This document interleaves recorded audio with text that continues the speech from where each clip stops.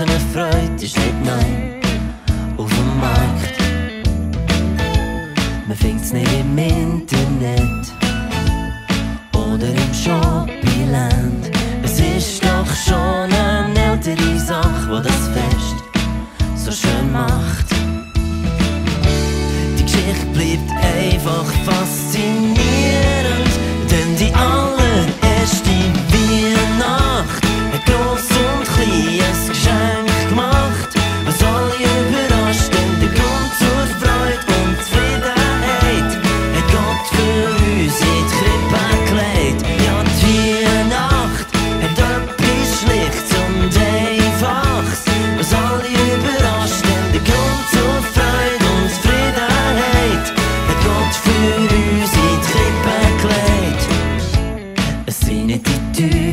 teuren Geschenke, nicht was am meisten glänzt.